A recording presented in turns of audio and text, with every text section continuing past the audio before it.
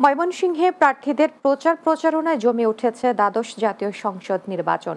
ময়মনসিংহ চার সদর আসনে দশজন প্রার্থী প্রতিদ্বন্দ্বিতা করলেও স্থানীয়দের ধারণা, স্বতন্ত্র প্রার্থী আমিনুল হক শামীমের সাথে প্রতিদ্বন্দ্বিতা হবে নৌকার প্রার্থী।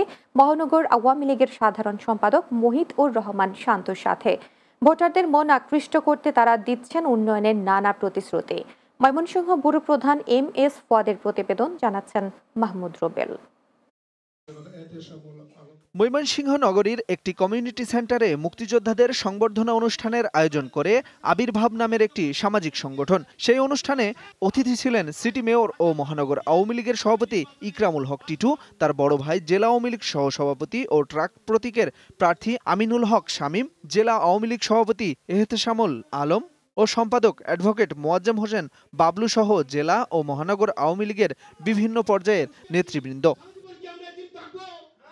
অনুষ্ঠানে উন্নয়নের ধারা অব্যাহত রাখতে মুক্তিযোদ্ধাদের কাছে শামীমের ট্রাক প্রতীকে ভোট চান জেলা আওয়ামী লীগের নেতৃবৃন্দ। স্বতন্ত্র প্রার্থীদেরকে মঞ্চে দিয়েছেন আদর করেছেন একটি গ্রহণযোগ্য নির্বাচনের জন্য একটি উল্লসিত নির্বাচনের জন্য একটি আলোচিত নির্বাচনের জন্য। জেলা উনি পক্ষ থেকে আপনাদেরকে উদাত্ত আহ্বান জানাব স্বনির্বদ্ধ অনুরোধ জানাব আপনার সকলে আপনাদের বিবেককে বুদ্ধিতে চিন্তা করে আপনার সন্তান সন্তানদের আছে সকলে চিন্তা করতে হবে কাকে দিয়ে আমাদের এলাকার উন্নতি হবে এটা হলো আসল কাজ।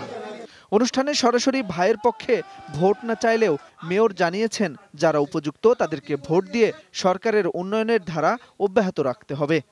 আমি আপনাদের প্রতি আহ্বান রাখব আগামী দিনে জননেত্রী শেখ হাসিনার হাতকে শক্তিশালী করার জন্য যারা উপযুক্ত তাদেরকে আপনারা বেছে নেবেন। স্বতন্ত্র প্রার্থী আমিনুল হক শামীম বলেন অতীতের মতো ভবিষ্যতে জনগণের পাশে থেকে কাজ করে যেতে চান তিনি। করোনাকালীন সময়ে আট মাস মাথায় আমি প্রতিদিনই কিন্তু রাস্তায় ছিলাম। আট মাসের মাথায় আমি করোনা আক্রান্ত হয়ে মৃত্যু হয়েছিলাম আবার বের হয়ে এসে আবার কিন্তু আমি করোনার জন্য রাস্তাঘাটে কাজ করেছি। Desk report Bangla TV.